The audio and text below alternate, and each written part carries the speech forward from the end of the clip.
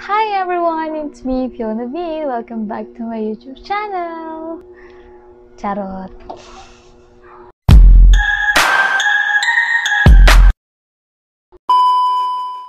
So, for today's video, gagawa tayo ng DIY dog bed. So, sa paggawa natin ng DIY dog bed, kailangan natin ng karayom and then sinulid. Then, gunting. Tapos, lumang damit. Uh, mas maganda kung pipiliin nyo ay yung mga lumang long sleeve. Kahit ano na yung may mahaba ang manggas para para magawa natin yung magawa natin yung dog DIY dog bed. So yung akin ang gagamitin ko ay lumang dress. Ito kasi ay maiksi na sa akin so gagamitin ko na. Ayan. Ito. Mahaba din naman yung manggas nito. So, yun. Meron na rin ako nagawang DIY dog bed. Hindi ko lang na video. So, gagawa ako ulit para ma-share sa inyo. And then, gagawa ako kasi maliit yung, maliit na yung una kong ginawa. Lumalaki na aking bebe. So, yun. Ito siya. Ayan. Tapos, ginawa ko nga to hindi pa tapos eh. Ayan, ganito itsura niya. Tinin. Tinin. Ganda yung sinasabi ko Ganda yung sinasabi ko kaya mas maganda kung mga mahabang manggas o mga long sleeve, ganyan. Ayan, kasi gawa nito. Ayan, para magawa natin yung itsura ng dog bed. Ayan. Di pa nga siya tahi. Butas pa dito sa dalawang gilid. Tapos, so, so yun, um, simulan natin. So, una, ang gagawin natin, so, una, ang gagawin natin, di ba, harap yan. Um, tatahiin natin siya simula dito sa may baba ng kilikili. Ayan, ay baliktad. Ay, tama, gagi. Ayan, di ba, ito yung harap. Ganyan simula dito hanggang doon sa kabilang kilikili hanggang dito. Yan, ganyan. Ganyan. Dito siya tatahiin. Yan.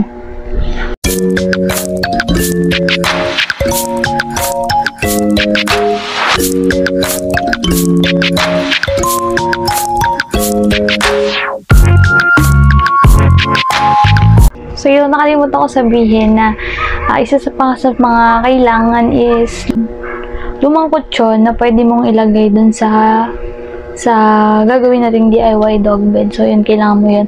And sa akin, itong ginawa kong una, hindi ko naman din natapos, pero nagamit niya is, ito na lang din yung ilalagay ko dito sa gagawin nating DIY dog bed.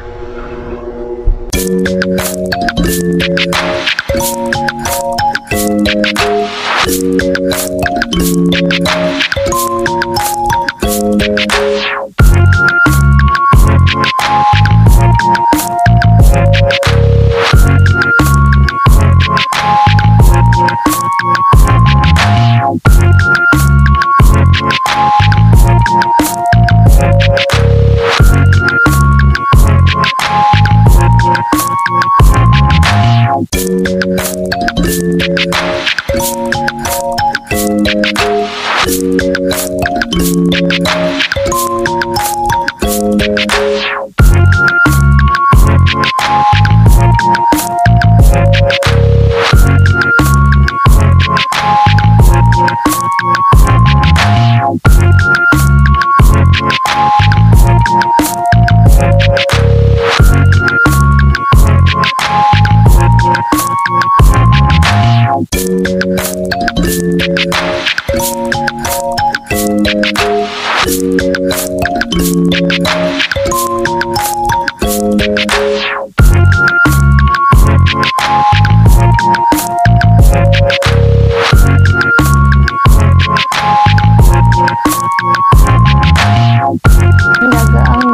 Ito,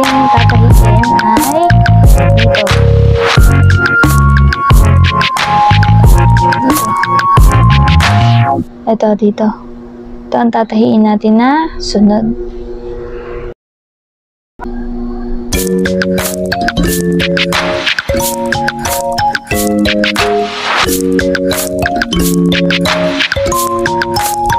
Thank you.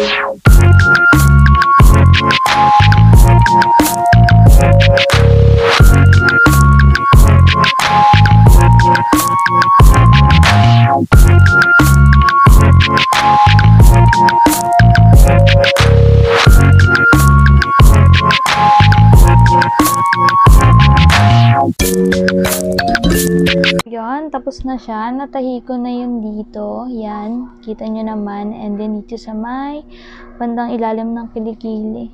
Puti na lang na sinulid yung aking ginamit. Kasi mas ano siya, hindi na naman din yung pansin masyado pag nilagyan siya ng foam sa loob. Tapos, yung napili yung foam na ilalagay is, o yung mga lumang kutsyon, is gupitin-gupitin nyo bago nyo ilagay. Yan. So, sunod is lalagyan na natin siya sa loob. Actually, mahagab, mahaba to. So, ang gagawin ko na lang, i...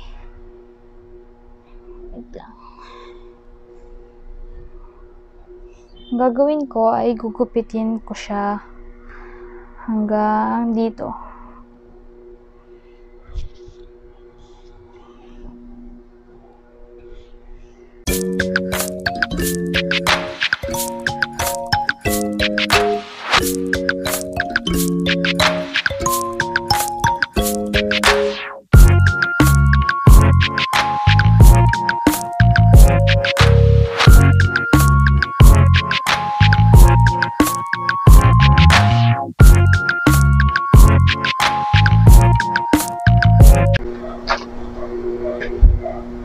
Bali, ganyan yung itsura niya.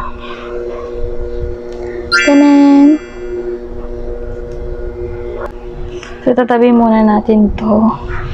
And then, kakalasin natin, yun. Kakalasin natin yung laman nito and then nililipat natin doon.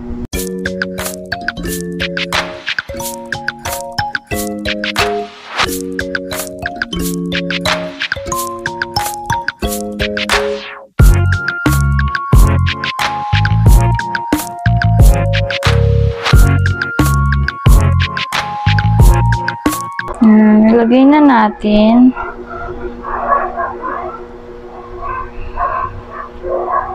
Lagay na natin siya. Talian ko muna para hindi manlaglag yung mga nakalagay. So, natin lalagyan ay yung sa dalawang braso.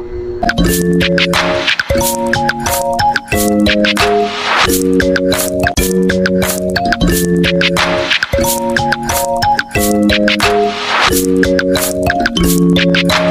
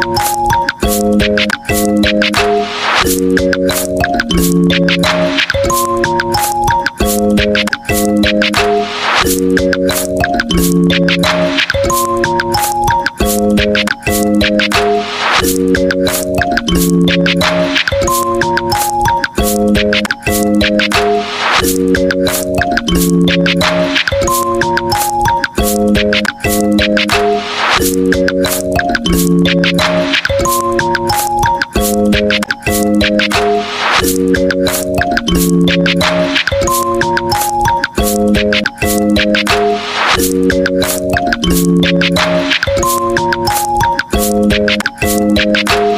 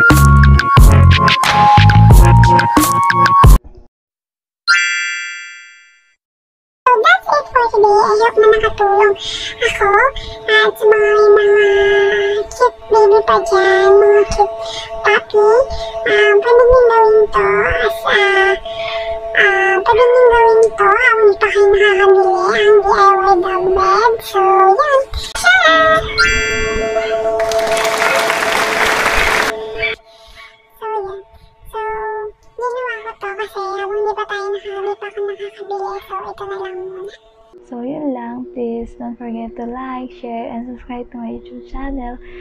So, yun lang. Thank you for watching!